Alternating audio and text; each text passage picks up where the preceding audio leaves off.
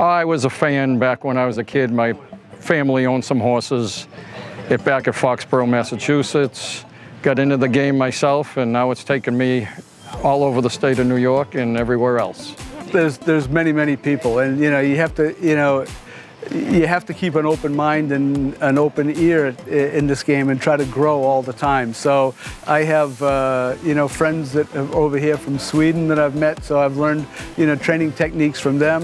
But, you know, going back prior to that, uh, guys like uh, Ted, uh, Ted Wing, who's now retired, was a big influence uh, in my career. I worked under him for, for a little bit uh, back in the uh, in the 80s? Well, my uncle is a big trainer over over in Sweden and worked for him when I was younger.